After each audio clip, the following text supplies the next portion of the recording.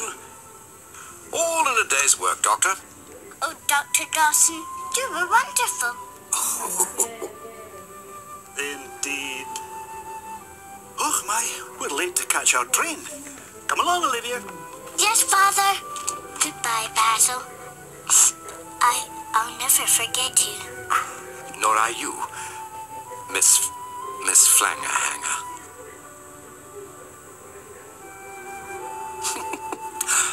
Whatever. Goodbye, Dr. Dawson. Goodbye, my dear. Goodbye. Well, um... not a bad little girl, actually. Not at all. Well, it's time I was on my way too. But, uh... But I thought... Well, the case is over, and hmm, perhaps it's... Uh, perhaps it's best I found my own living quarters. But... Oh, now who could that be?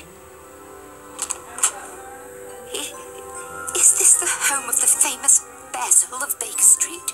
Indeed it is, miss. You look as if you're in some trouble.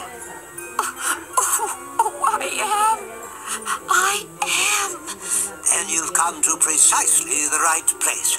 Ah, allow me to introduce my trusted associate, Dr. Dawson, with whom I do all my cases. Isn't that right, Doctor? What? What?